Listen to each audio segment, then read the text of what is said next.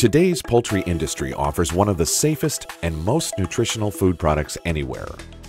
Through more than 60 years of research and innovation, poultry producers have made giant strides in providing nutritious, healthy, and economical meat and eggs for consumers here in the U.S. and around the world. The success of the poultry industry has been so incredible that some people are naturally skeptical. How is it possible for today's birds to be grown and brought to market so much quicker than ever before? Unfortunately, this question has led to no small amount of speculation. Most popular among the myths is the suggestion that growers use hormones in poultry production. The misinformation about hormones has been so widespread that many consumers assume the worst. Instead of simply asking whether hormones are used in poultry products, the more common question is, why are hormones used? So let's back up and get straight to the truth. The simple answer is no. No hormones are used in the production of chickens and turkeys. Period. To help better understand, let's hear from an expert, Dr. Susan Watkins, a University of Arkansas professor with the Center of Excellence for Poultry Science. Yes, U.S. poultry producers have definitely been the target of a number of unfounded rumors concerning hormone use, particularly in recent years with the rise in consumer interest in how our food is produced. The response should be there is no logical reason or incentive to even justify hormone use. The explanations are based in science, economics, and the law. First, from a biological standpoint, the poultry industry has no use for steroids. Over years of research, scientists have made tremendous advances in genetics and selective breeding naturally selecting for the traits desired by today's consumers.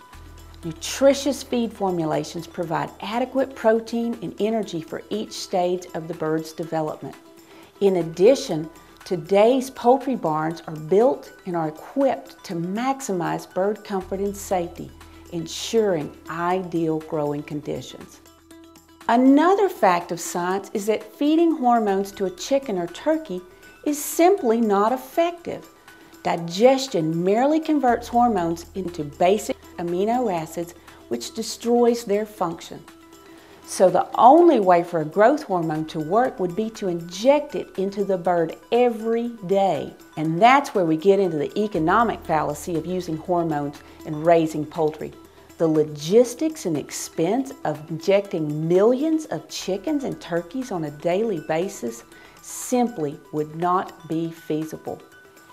And finally, there is the legal aspect. For many years, the use of hormones in poultry feed has been strictly prohibited in the United States by the Federal Food and Drug Administration. Similar restrictions also exist in the European Union and most developed nations. Clearly, all these factors, science, economics, the law, and quite frankly, plain common sense, weigh heavily against any practical use of hormones in poultry production. In the face of these truths, the myths simply don't stand up. As a mother, I understand and share your desire to serve safe, nutritious meals to our families. As a poultry scientist, I can assure you today's poultry is wholesome and healthy and are never fed or treated with hormones. The poultry industry is proud of its history and role in providing a safe, healthy food product that is both rich in protein and affordable in cost. Looking ahead, poultry will continue to be on the forefront of advances in food production worldwide. So please, help us spread the truth about poultry and expose the fiction behind the hormone myth. Rest assured that the chicken, eggs, and turkey you enjoy today and in the future will always be of the highest quality, wholesome, and safe. Thank you for your interest and support of the poultry industry. This message was brought to you by the U.S. Poultry and Egg Association. Funding for this video was provided by the International Poultry Expo.